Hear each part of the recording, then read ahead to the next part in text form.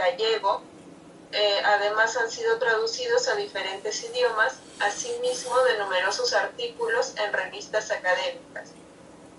De este modo, eh, damos paso, puede iniciar su exposición, doctor Bar.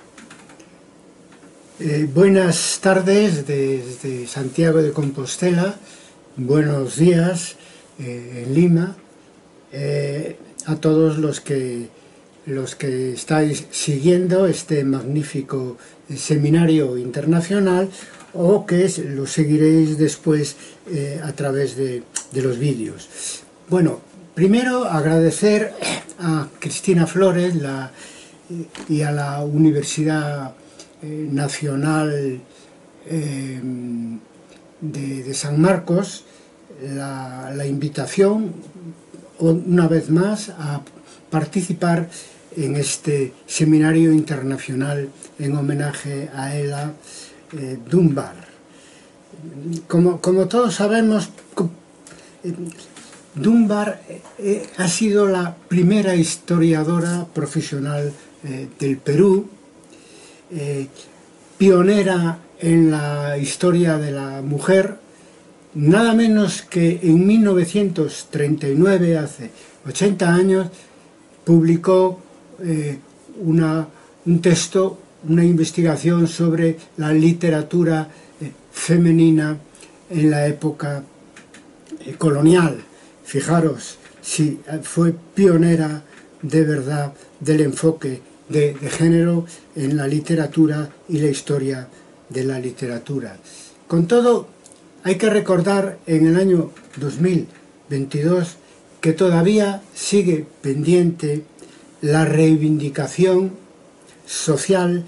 e historiográfica de que la igualdad de género esté en la escritura de la historia de, la humanidad. Falta mucho recorrido para conseguirlo. Sin embargo, la historia se mueve y se ha movido mucho últimamente en, la dirección de favorecer eh, los derechos de la mujer, como sabemos. En el siglo XXI hemos visto nacer unos nuevos movimientos eh, sociales eh, de una enorme fuerza e impacto social, político, cultural, protagonizado primero por jóvenes y después por por mujeres. Por jóvenes el movimiento de los indignados, como ya sabemos, que se inició en el norte de África en el año 2011 eh, y se extendió pues, a Europa, América y eh, al resto de los continentes y que todavía ahora, eh,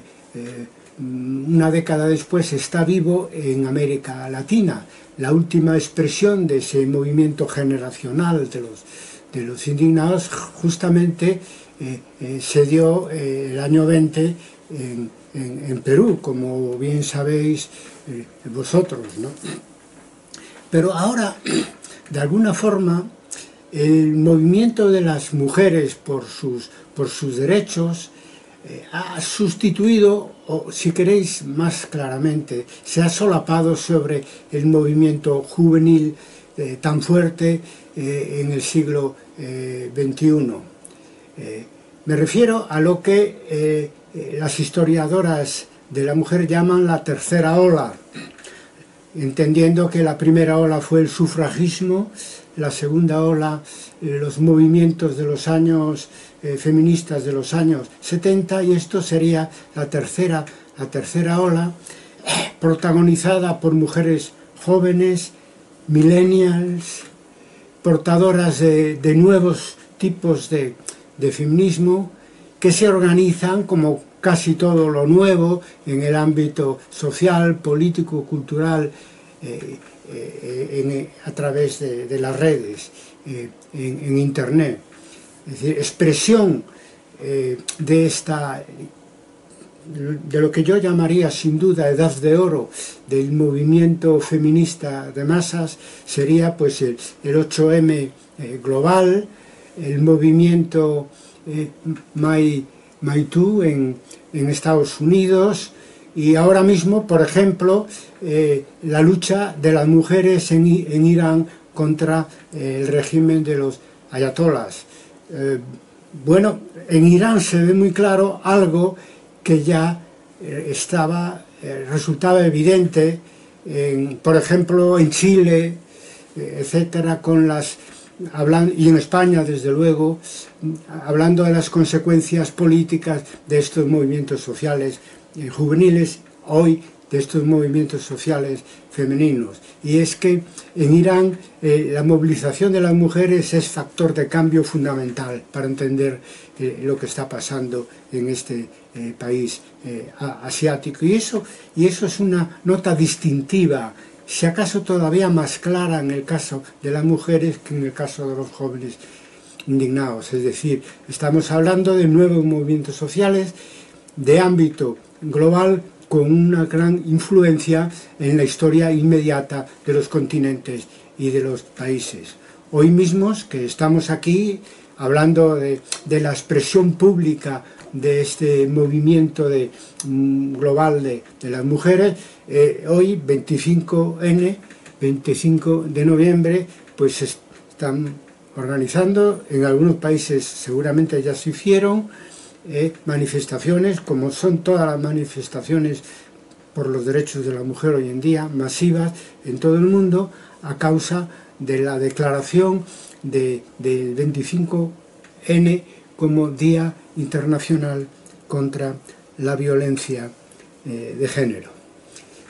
Hablo de esto, de la historia inmediata, para volver al terreno de, la historia eh, que nosotros hacemos, de la historia profesional. Y ahí está estamos viviendo, lo digo con pena, pero también es lógico, tiene su lógica, un decalage muy evidente entre eh, la historia que se hace y la historia eh, que, se, que, se, que, se, escribe. ¿no? Yo creo autocríticamente que autocríticamente debemos reconocer que los historiadores y las historiadoras, por este orden, no estamos a la altura de lo que los tiempos nos exigen, es decir, impulsar eh, la investigación de género en la historia y en la eh, historiografía, estudiar el papel de la mujer en el devenir eh, de los tiempos, para acomodarnos al papel de la mujer hoy en día en la historia que estamos viviendo para no ser menos. Siempre, eh, siempre la, historia profesional avanzó partiendo de, las, de los retos del presente. Y el, y el reto mayor en este siglo XXI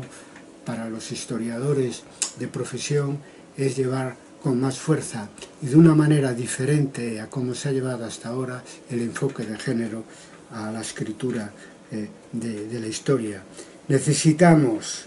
eh, conocer el papel de la mujer en la historia y en la historiografía para comprender el presente y nos quejamos, por tanto, de un desfase que se da pese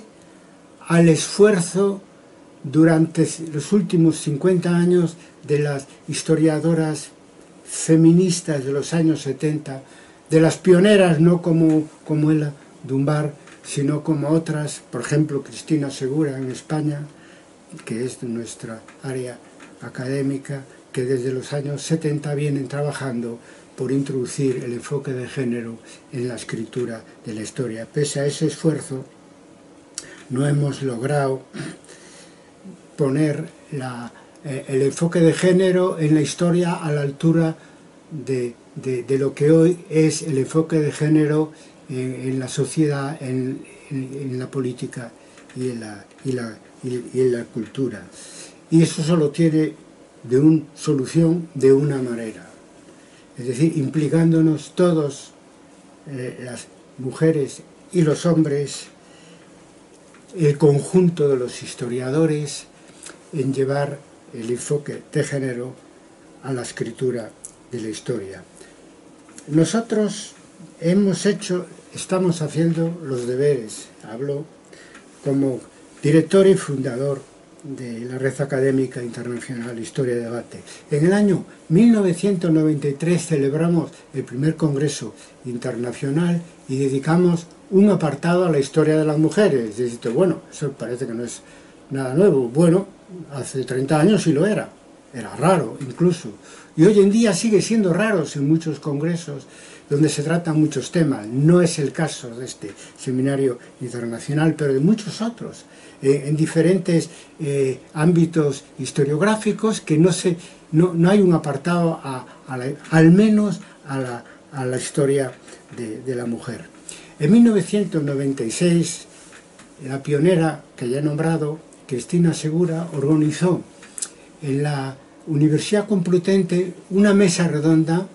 bajo el título de la historia de las mujeres en el... No, de la historia de las mujeres en el nuevo paradigma de la historia. Empezábamos con ese tema en Historia y Debate de la transición de la historia del siglo XX y al siglo XXI y hablábamos de, los nuevos y los viejos eh, paradigmas en, en el escenario historiográfico de aquel momento, la historia de las mujeres en el nuevo paradigma de la historia. En 1996, tres años después, celebramos en Santiago de Compostela, como siempre, el tercer Congreso Internacional de Historia y Debate y dedicamos una mesa redonda a hablar de lo siguiente, hombres y mujeres, historia común, que también eh, era un título eh, rompedor, pienso, y que extrañó un poco eh, tanto eh, entre los historiadores eh, de, formación, diríamos, patriarcal, como incluso en las colegas feministas que participaron, obviamente, en la mesa redonda. Lo que queríamos es hacer énfasis en que la historia de género, en la historia de género los géneros hay que estudiarlos interrelacionadamente. En el, entre el año de ese segundo congreso, 1999, y el año 2001, celebramos una, una macro encuesta internacional que algunos seguro que participasteis, sobre todo los más veteranos, quiero decir,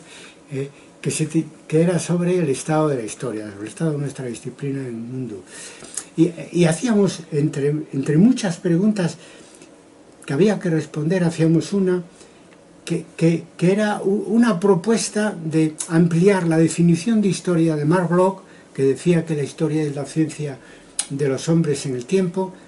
a, esta definición, la historia es la ciencia de los hombres y las mujeres en el tiempo y en el medio natural. Y nos llevamos una agradable sorpresa al comprobar que 74%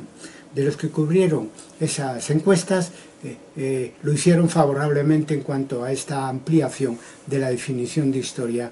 mm, bueno, de la escuela de anales, pero que se puede generalizar a lo que era la historiografía renovadora en el siglo XX.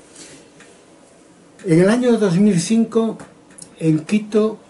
eh, invitado por la Universidad Andina, Simón Bolívar, tiene una conferencia inaugural un congreso de historia de la educación con el siguiente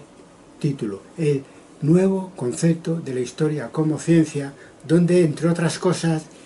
y en primer lugar introducía esto que que habíamos puesto en la pregunta de la encuesta internacional sobre el estado de la historia, es decir, eh, el tema de cambiar el concepto científico de la historia de manera que los sujetos no solamente fueran los hombres, sino también las mujeres. Otra vez, los hombres y las mujeres. La historia es de los hombres y de las eh, mujeres. En, el año 2015, siguiendo esta misma línea de trabajo, análisis e intervención eh, historiográfico, en Oviedo, en la sede del Real Instituto de Estudios Asturianos, dicté una conferencia sobre el papel de las mujeres en la historiografía global y por último, por penúltimo, porque lo último es lo que vamos a decir hoy aquí, pues en penúltimo lugar eh, eh, hablamos, queríamos hablar eh, sobre eso, el papel de las mujeres, o hablamos de, en la historiografía global. en el año 2015. Eso fue lo anterior. Bueno, durante la pandemia, en el 2021, aproveché el confinamiento para dar un curso por, de vídeos breves en internet sobre qué es la historia, de metodología, historiografía, teoría de la historia, relación con la sociedad, etc. Y el episodio número 35 estuvo dedicado a la cuestión del género, un poco repasando todas las propuestas anteriores y actualizándolos al, al año 2021. Eh, con eso quiero decir que, nuestra preocupación por el presente y el futuro de la historia como disciplina, como veis, está muy vinculada al, a resolver el problema de, introducir eh, de una manera más definitiva y, más general el, enfoque de género en, los estudios y la investigación y la enseñanza eh, de, la, de la historia. ¿Cuál es la situación hoy? Porque claro, llevamos con este tema pues 30 años. Bueno, no solo trabajábamos sobre esto, sino sobre otras muchas cosas. La mayor parte de mi trabajo ya a título individual es sobre historia medieval, como ya sabéis.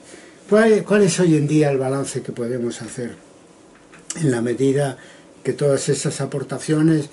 pues se, van haciendo y van evolucionando al calor de cómo avanza la sociedad por un lado y cómo avanza nuestra disciplina por otro. ¿Qué balance podemos hacer hoy en el año 2022? Pues bueno, hubo avances, hubo retrasos que permanecen y hubo retrocesos o peligro de retroceso. Los avances son muy evidentes y hay que empezar siempre por la parte llena del vaso. Si los estudios de género se han consolidado enormemente y se han transformado eh, esa, preocupación sobre, sobre el género, eh, pues se, ha llegado a las instituciones, hay políticas eh, públicas para favorecer los estudios de género, también en el campo histórico. Lo cual eso ha ayudado bastante a que en las comunidades de historiadores haya en general ahora mayor sensibilidad hacia eh, la historia de las mujeres y los estudios de género que lo, que lo había pues hace 10, 20 o, o 30 años. También pienso por el relevo generacional, porque claro, hoy la comunidad de historiadores pues se ha rejuvenecido enormemente por razones de recambio naturalmente eh, biológico y eso nos ayuda porque eh, eh, las historiadoras y los historiadores más jóvenes, en principio sobre todo ellas, pero también ellos, creo yo, pues son más sensibles y, han sido educados ya muchas veces, desde luego en la propia universidad, incluso antes, con, con pues con criterios de, igualdad de, género.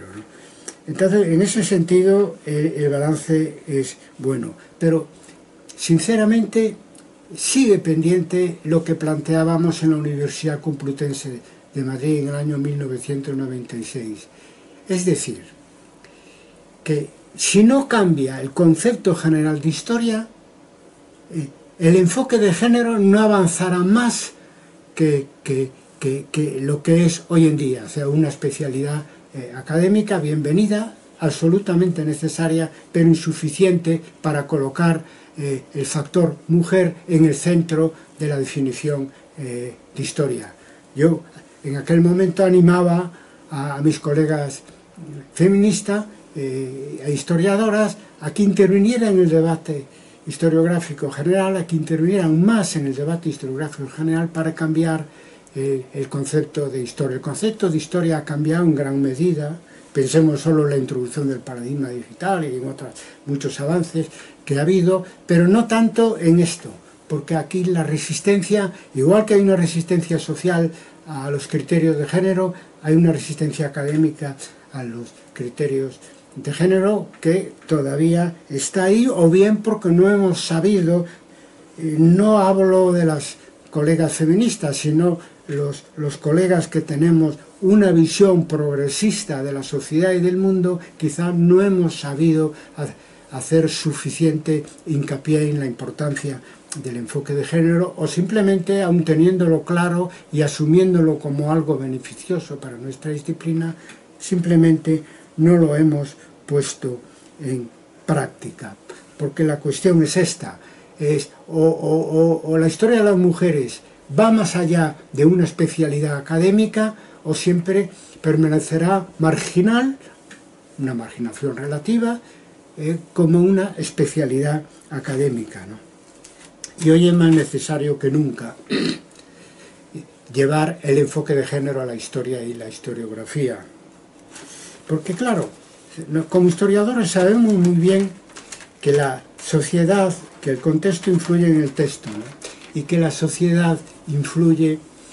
en la academia y la sociedad evoluciona desde la caída del muro de Berlín de una manera muy acelerada en todos los ámbitos, también en este ámbito del sujeto social, que antes eran los trabajadores, ahora los, después los jóvenes y ahora son, son las, las mujeres. Entonces esta influencia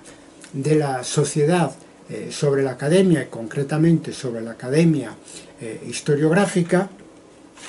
en, que es lo que nos interesa, pues es positiva porque el feminismo hoy pues impregna pues las instituciones, no solo la sociedad o una buena parte de la sociedad, sino las instituciones y eh, también eh, pues los movimientos sociales, estos a los que hacía referencia anteriormente, pues generan conciencia, no solamente entre sus participantes, la inmensa mayoría mujeres, sino también en, el conjunto de la población. Pero también hay una influencia negativa, y es que conforme ha ido avanzando el feminismo en, en las instituciones, en la conciencia de la gente, en la política, etcétera, se ha generado una reacción antifeminista muy, muy fuerte, que a veces se presenta solapadamente, sobre todo en el mundo académico, y a veces de manera manifiesta. Digamos que la peor manera en que se manifiesta este antifeminismo en el ámbito social, desde luego, es la violencia de género y los feminicidios. Lo digo no por ser macabro, sino porque es un problema real y porque además eh, le, explica eh, la importancia que yo creo que, debe, que tiene la, presencia del enfoque de género en el mundo que vivimos y también debería tener en, la historia que, que, nosotros escribimos. En fin, haciendo historia inmediata, podríamos decir que los avances históricos por los derechos de los derechos de la mujer eh, que han provocado esto, esta reacción ultraconservadora a la que me refería, que no solo tiene que ver con las cuestiones de género, pero mucho que ver, tienen mucho que ver con las cuestiones de género, pero no solamente, hay otros factores que lo explican. La cuestión es que esta, esta reacción eh, ultraconservadora nos hace pensar por primera vez en décadas que los derechos adquiridos se pueden perder. Eh, el, choque mayor que, yo he visto en este sentido es la anulación del derecho al aborto en los Estados Unidos de América por, parte de unos jueces ultraconservadores y, y, el efecto, el impacto que eso causó en, el movimiento democrático en favor de, de, la mujer, que es muy poderoso en los Estados Unidos y además que provocó, esto está en, todas las crónicas que se están haciendo de las últimas elecciones en Estados Unidos, pues una reacción de, los demócratas que dejó pues en, mucho menos de lo que se pensaba el impulso del señor eh, Trump para, para llevar a, sus, a, la, ultraderecha o mantener o ampliar la presencia de la ultraderecha en las instituciones parlamentarias en Estados Unidos. Por lo tanto, si eso pasó en Estados Unidos, puede pasar en, muchos otros países porque el ascenso de la, extrema derecha es general, por lo menos en el mundo eh, occidental. Claro, yo me pregunto, bueno, si eso siguiera así, que no va a seguir, pensamos, pues yo me pregunto si, si tendremos que volver también los historiadores hacia, atrás y para hacer, para hacer y hacer de nuevo una, una historia sin mujeres como hemos estado haciendo durante muchísimo oh, tiempo. En fin, lo que podemos aportar para contrarrestar estos peligros, para resolver el retraso que tenemos en, en la Academia Historiográfica para asumir los criterios de género, para consolidar los avances eh, históricos de, la lucha por los derechos de la mujer, ¿qué podemos hacer desde el campo de la historia? Bueno, yo, como sabéis, llevamos mucho tiempo trabajando sobre ese tema y resumiría y actualizaría nuestras eh, proposiciones en cuatro en cuatro cuestiones, en cinco, en cinco cuestiones que me parecen importantes para tener eh, una para lograr una historiografía más feminista, por lo tanto más justa y más real. La primera, lo decíamos en uno de los trabajos anteriores, cuando hablábamos de un nuevo paradigma historiográfico, que insistir en que el nuevo paradigma de la historia será feminista eh, o no o no será. Y, tenemos que plantearnos impregnar el conjunto de la historia que se escribe, de la historiografía, de los criterios de, de género, a lo largo de todo este siglo XXI, de la misma manera que la historia social impregnó toda la historia eh, renovadora que se hizo en el siglo pasado. Ese es el punto de comparación principal para las tareas de los historiadores avanzados en el siglo XXI. En segundo lugar, cuando hablamos de hacer una historia de hombres y mujeres, es insistir en ese carácter relacional que tiene que ver con que la historia de las mujeres vaya más allá de una especialidad que hay que mantener, vaya más allá de tratar por separado eh, eh, la mujer en, la historia, eh, en lugar de, al mismo tiempo que se hace eso, tratar el, papel del hombre y de la mujer en la historia. Es decir, una historia relacional, dialéctica, compartida o divergente según el momento, según el tema, el debate con frecuencia va a ser necesario, pero para eso hay que equilibrar el, debate y, hacer algo que, curiosamente está sin hacer, así como hay estudios de la masculinidad eh, eh, en otras ciencias sociales, no las hay en historia. Hay que hacer al mismo tiempo que los estudios, los estudios sobre la mujer, estudios sobre el hombre, sobre la masculinidad, es decir, el hombre en relación, en definitiva, con la mujer. El hombre, en definitiva, desde el punto de vista de su propio género, la masculinidad, y desde luego, dentro de los estudios históricos de la masculinidad, estudiar la historia del machismo, que curiosamente está eh, sin hacer, lo cual demuestra hasta qué punto es necesario equilibrar el estudio de los géneros, sabiendo siempre que estamos hablando de sin, demasiadas diferencias entre las épocas históricas de un género dominante y un género más dominado, que fue el género de, la mujer. Eso que lo, que lo hemos hecho también para el caso de las clases dirigentes y las clases dominadas o subalternas, hay que hacerlo también para, eh, eh, al hablar de, la historia del, género dominante y de los géneros dominados. Eh, a lo largo, a lo largo de, los, de los tiempos. Decíamos ir más allá de la, de la especialidad de la historia de las mujeres. Yo diría que la historia de las mujeres, es otra manera de decirlo, tiene que ser transversal respecto de las especialidades, de las diferentes especialidades y, temáticas históricas. Algunos dirán, bueno, esto ya se hace, es decir, que en la historia antigua, medieval, moderna, contemporánea, colonial, etcétera, prehistoria y todo eso, ya hay eh, mujeres historiadoras feministas que estudian eh, el, el, papel de la mujer en la historia, pero es que hay que ir más allá, hay que ser mucho más ambiciosos, eh, en el sentido, y en ese sentido, claro, hay muchísimo trabajo por hacer, ¿no? Y es necesario no solo algunas mujeres feministas, sino todas las mujeres. Y es necesario no solo las mujeres, sino, sino todos los hombres que quieran hacer avanzar nuestra disciplina, que quieran que nuestra disciplina avance al ritmo que avanza la historia eh, inmediata. mucho trabajo porque en rigor eh, el dominio mm, patriarcal, de los enfoques patriarcales de una, de una manera voluntaria o involuntaria a lo largo de la historia, pues ha llenado eh, las bibliotecas de libros que en muchos casos hay que revisitar. Hay que revisitar los diferentes hechos históricos, épocas históricas, procesos históricos. Hay que revisitarlos desde el punto de vista de una óptica de género, que en algunos casos puede ser relevante y otros, en otros casos puede hacernos cambiar las conclusiones que pudimos haber llegado en determinados momentos. En cualquier caso,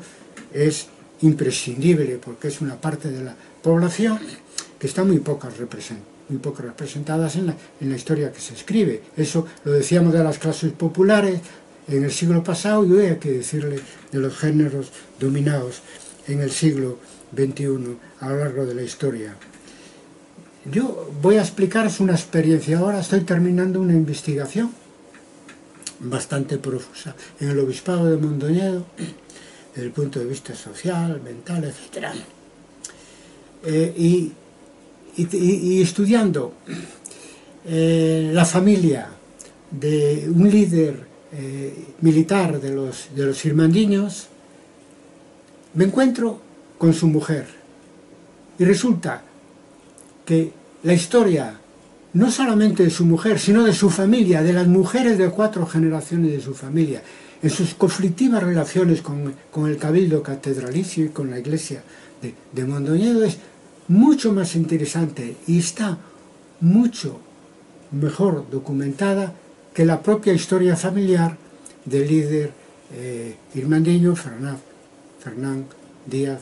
Teixeiro, que en sí mismo, pues bueno, claro, juega un papel relevante en la historia de la mayor revuelta social que hubo en,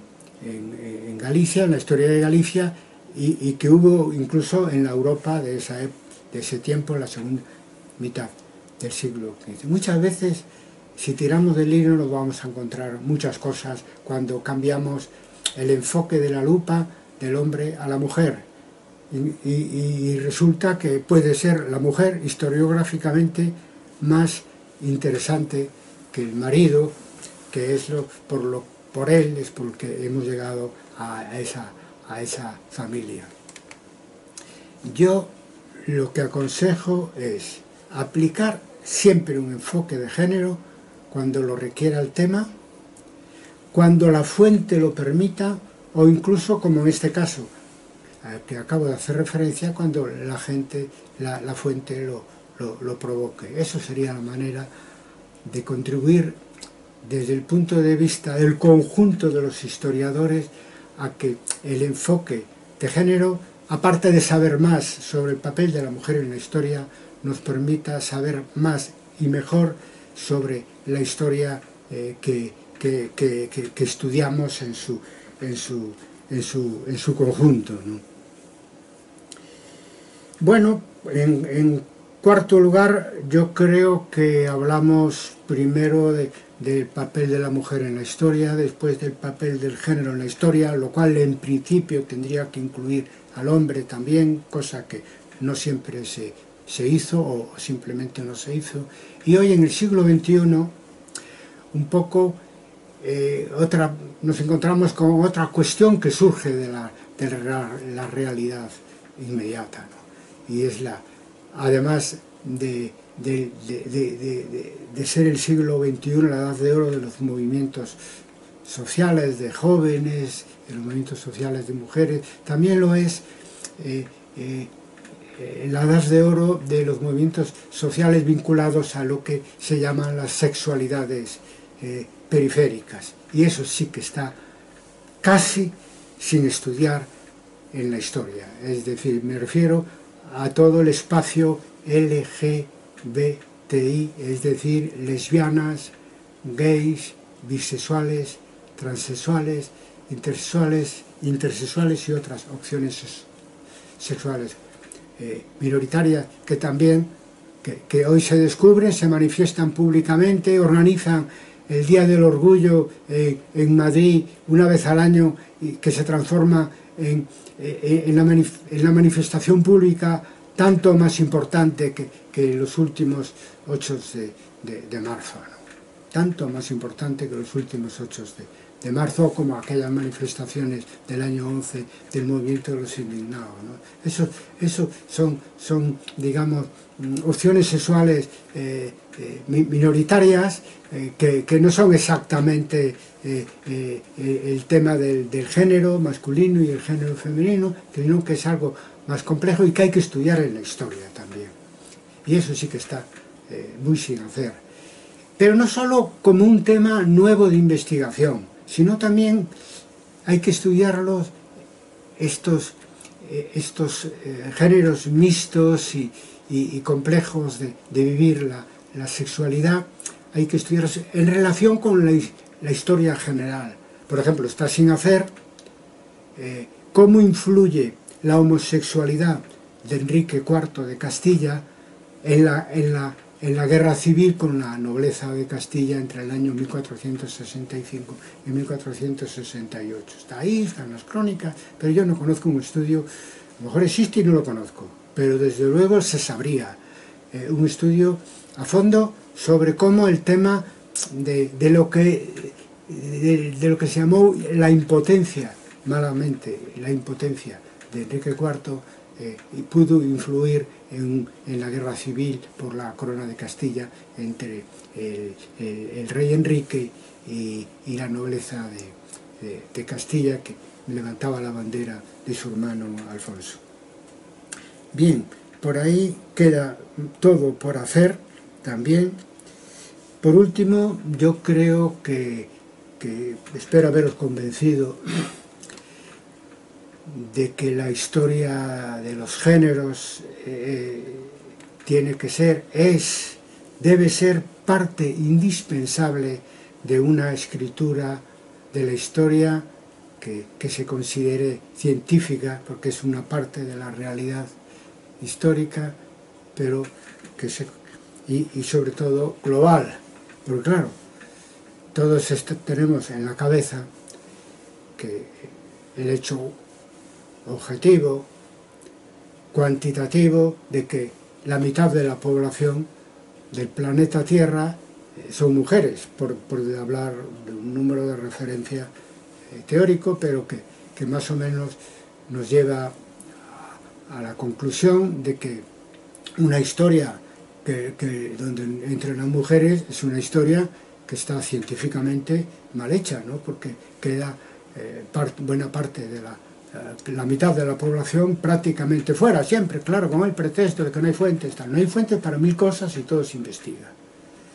Es decir, porque para eso eh, hemos sido formados como historiadores y tenemos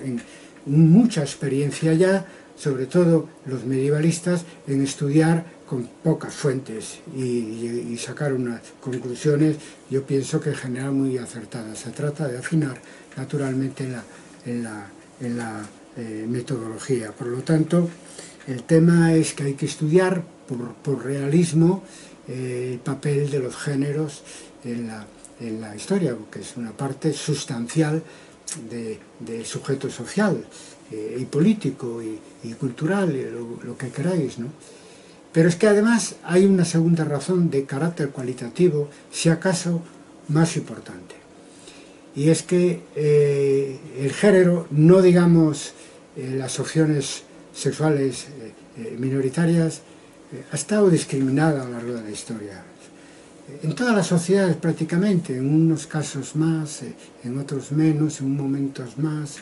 en otros menos, y el historiador debe privilegiar el estudio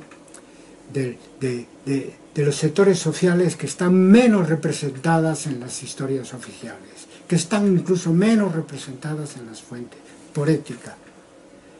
Entonces, los que hacemos eh, eh, una historiografía de valores, no podemos reducir la historia a los reyes y las élites, tenemos que hacer una historia del conjunto de la sociedad, Bueno, y hacemos una historia social, y hacemos una historia donde las clases populares están presentes también. Pero tampoco podemos, si acaso con más motivo, eh, hacer una historia solamente donde el protagonismo sea, sea masculino, y sobre todo cuando el protagonismo es patriarcal, que lo es muchas veces porque naturalmente el hombre es el, género eh, dominante. Por lo tanto, para contrarrestar eso, el historiador debe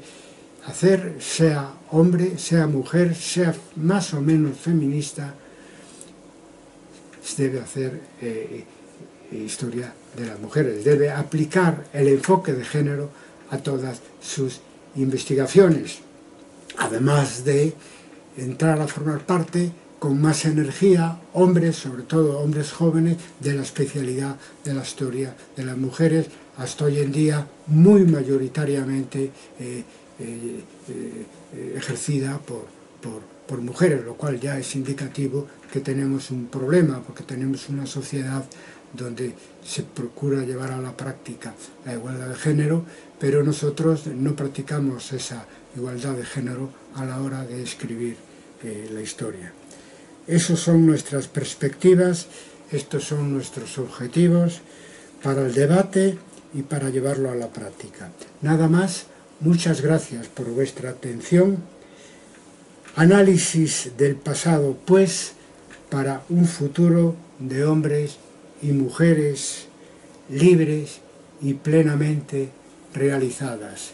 ¡Viva el Perú! Muchas gracias por su exposición, doctor Barro. Muy interesante el, tema del género que está en boga en estos días.